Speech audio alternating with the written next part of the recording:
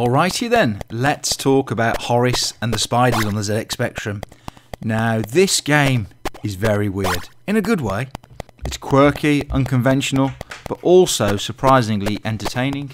First off, the game is set in a bizarre world where spiders have taken over, and Horace, our protagonist, is the only one who can stop them. The graphics are, shall we say, unique, with a mix of pixelated landscapes and colourful characters, but they look like they were drawn by a child with a crayon. But hey, it all adds to the charm, right? Now, this is crazy weird, and the fat worm is surprisingly astute for a worm. He knows his way around a computer, that's for sure. He's particularly impressed with the ZX Spectrum's graphics capabilities, which he describes as brighter than a snail's shell on a sunny day. But if you're looking for something a bit off the beaten path, something that's going to make you scratch your head and say, What the bloody heck? then Fat Worm blowing a Sparky on the ZX Spectrum might just be for you. There's no doubt about it, and you can be forgiven for thinking that this game is about cute and fluffy animals frolicking in a meadow, but you'd be wrong. In fact, this game is about a teddy bear, I think, on a mission to rescue other toys from the clutches of evil.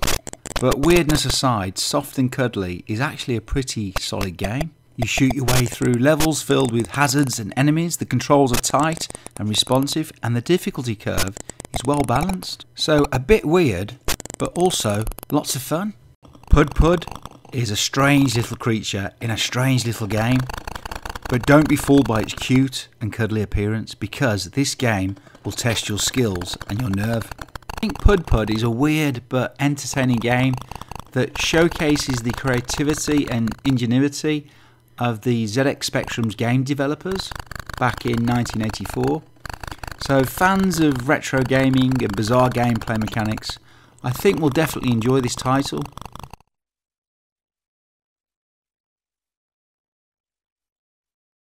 Now, if you're not familiar with Benny Hill, he was a comedian famous for his fast paced slapstick humour, and this game tries to capture that same spirit. But where's the music?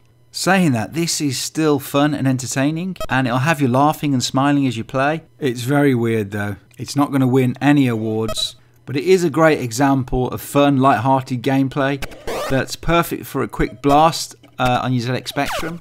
It's definitely a nostalgic romp through the 80s, and if you're a fan of the show or just love classic gaming, it's definitely worth checking out. Oh, Jet Set Willy, it's a fantastic game, and it still holds up today. It may not have the flashy graphics or cinematic cutscenes of modern games, but it more than makes up for it with its challenging gameplay, quirky humour, and a sense of exploration. So, if you're looking for a classic platformer that will test your skills and keep you entertained for hours, give Jet Set Willy a try.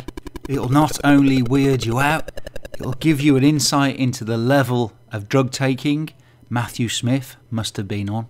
Ah, Frankie Goes to Hollywood. One of the reasons I love this game is the sense of humour that permeates throughout. There's quite a few tongue in cheek moments that will definitely make you smile. And it's also evident that the developers had a lot of fun creating this game, as it shows in the finished product. Yes, it's weird, but it's also wonderful, and it's a classic ZX Spectrum game that is well worth revisiting. So, then, if you're looking for a trip down memory lane, or just want to experience one of the classics of the early gaming world, then Frankie Goes to Hollywood is definitely worth a look. When it comes to computer games, I've definitely been round the block. This was an absolute gem of a game back in 1985, but it was also one of the weirdest games. But it works, and what really sets Dynamite Dan apart is its sense of humour. From the silly animations to the hilarious death scenes, Dynamite Dan doesn't take itself too seriously, and that's what I think makes it so enjoyable. So if you're looking for a classic platformer with a weird sense of humour, give Dynamite Dan a try. First impressions, well, the graphics are pretty basic, even for the ZX Spectrum, but as we all know, the real test is in the gameplay.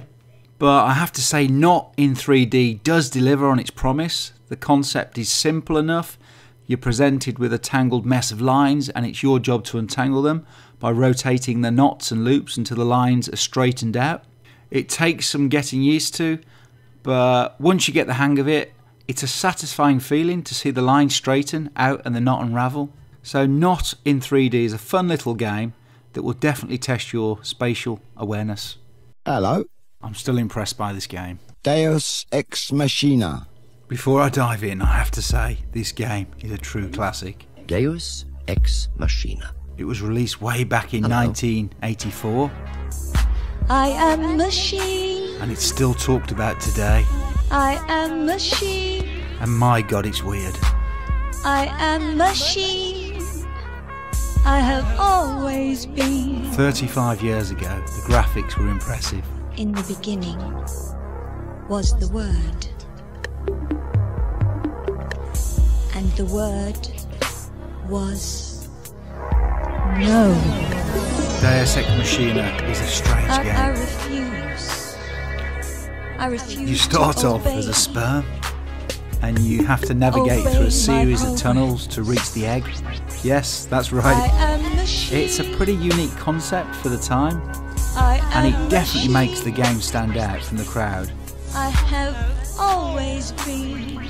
Once you reach the egg, you break out into the world, and it's then that you have to navigate through life. So thanks for watching. If you've enjoyed this video, let me know. Love. I will live Please leave a comment. through you. Don't forget to like. This is a secret. I am machine. And if you're feeling up to it, don't forget to leave a thank you. It's much appreciated.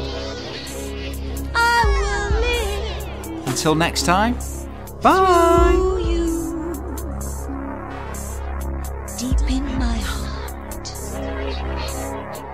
In my core.